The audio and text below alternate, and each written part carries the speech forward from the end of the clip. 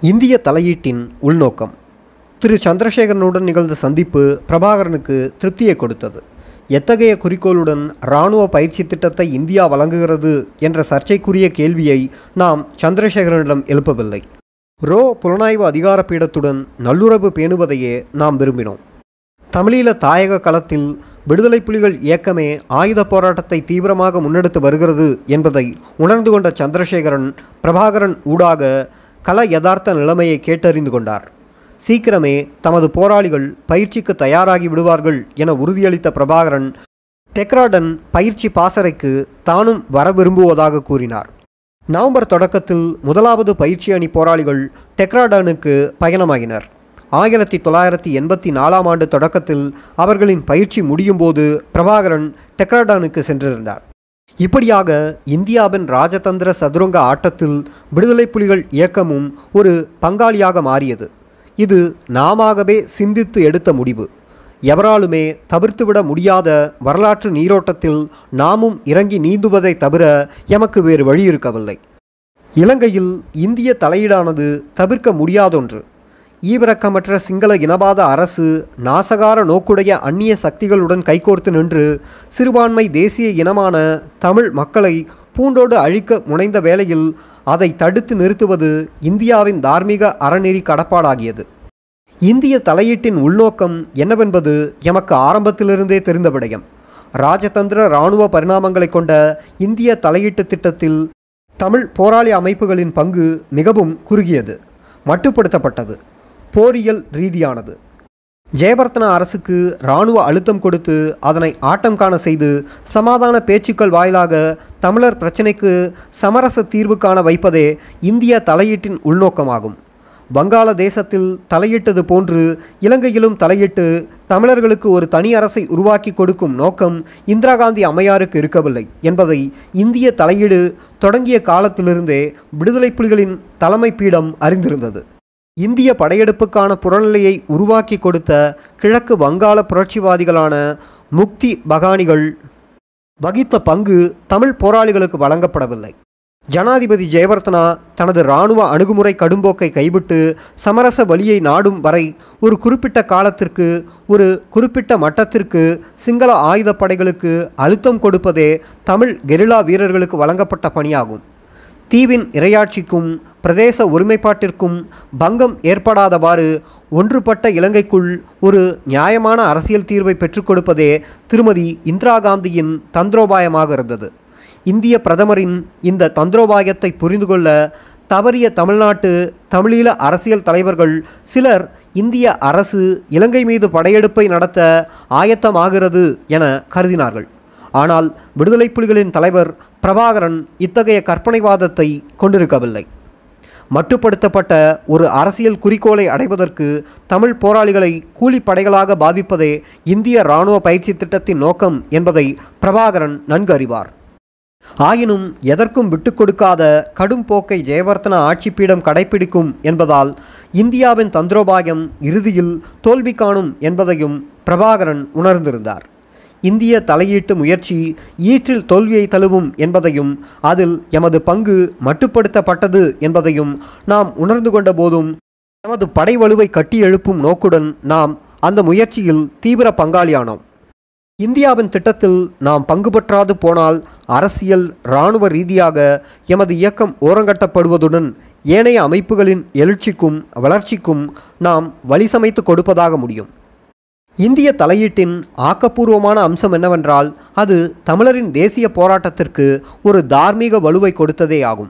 கொழும்பு அரசுடன் இந்தியா ராஜதந்திர ரீதியில் தலையிட்டமை தமிழரின் இனப்பிரச்சனையை சர்வதேசமயப்படுத்தியது.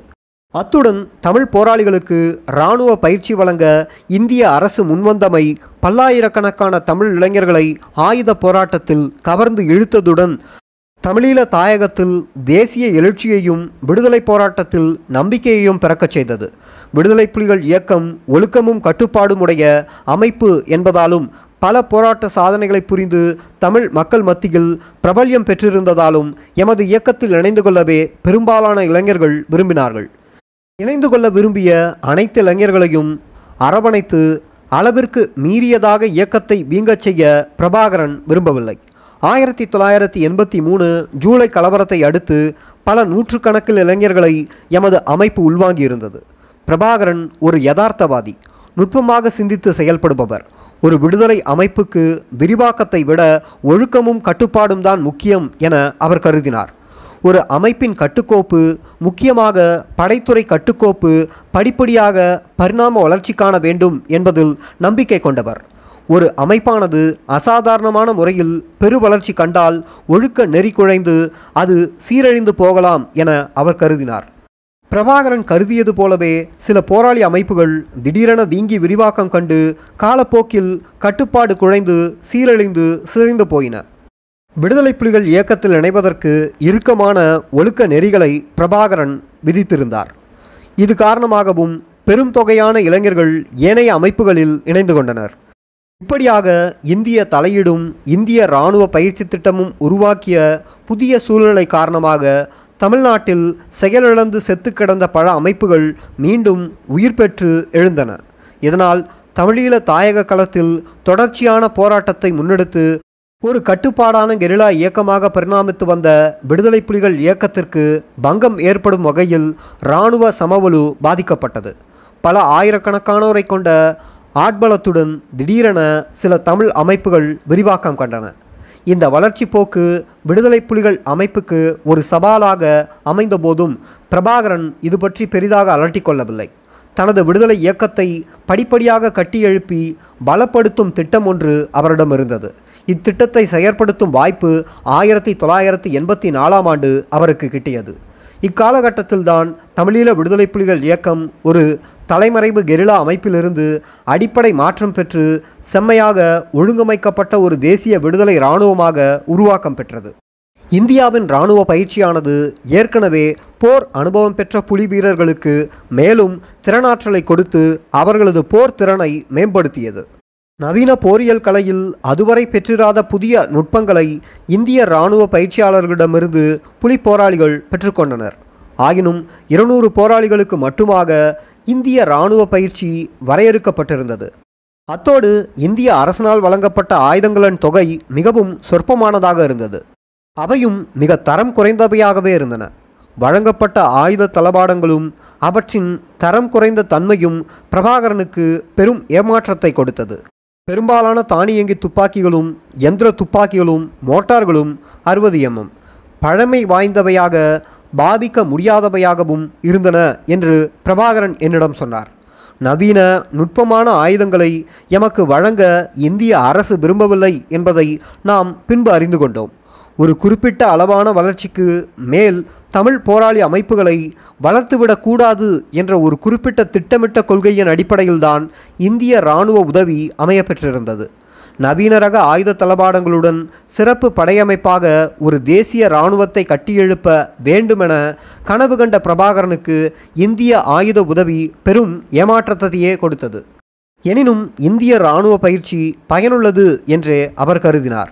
தனது இராணுவ கட்டமைப்பை நவீனமயப்படுத்தி விரிவாக்குவதற்கு பிரபாகரனுக்கு இடையூறாக இருந்தது நிதி பற்றாக்குறையாகும். அக்காலகட்டத்தில் பண பற்றாக்குறை எமது இயக்கத்திற்கு பெரும் பிரச்சனையாக இருந்தது. இந்திய அரசிடமிருந்து எமக்கு எவ்விதமான நிதியுதவியும் கிடைக்கவில்லை. டெலோ இபிஆர்எல்எஃப் ஈராஸ் போன்ற அமைப்புகளுக்கே ரோ புலனாய்வுத்துறையிடமிருந்து பெற்ற நிதி மூலமாக சந்திரஹாசன் பண உதவி புரிந்து வந்தார். புதிதாக போராளிகளை நாம் எமது அமைப்பில் இணைத்து கொண்ட பொழுது எமது நிதி நெருக்கடி மேலும் மோசமாகியது. அவர்களை பராமரிப்பதே பெரும் சிரமமாக இருந்தது. வெளிநாடுகளில் புலம்பெயர்ந்து வாழ்ந்து வந்த நண்பர்கள் ஆதரவாளர்களிடமிருந்து பெற்ற சிறிய தொகை பணத்துடன் இயக்கத்தை இயக்குவதென்பது அவ்வேளை பெரும் போராட்டமாக அமைந்தது.